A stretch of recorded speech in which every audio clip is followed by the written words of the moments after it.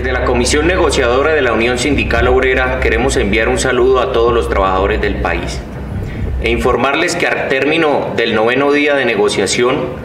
no hemos tenido un avance significativo en este, pues la posición de la administración de Ecopetrol va solamente en la vía de negar las pretensiones plasmadas en nuestro justo pliego de peticiones.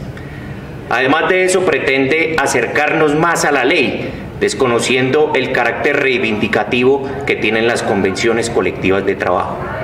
Es por esto que desde esta comisión hacemos un llamado a la empresa, hacemos un llamado a los trabajadores a que retomemos el tema, a que planteemos las soluciones y que seamos propositivos, que dejemos la negativa a un lado y tratemos de construir el cambio que tanto necesitan los y las trabajadoras del sector petrolero en el país. Es por esto que hacemos un llamado que así como se está movilizando el país para las grandes reformas del gobierno, los trabajadores petroleros hagamos lo propio para lograr convertir este pliego en la convención del centenario.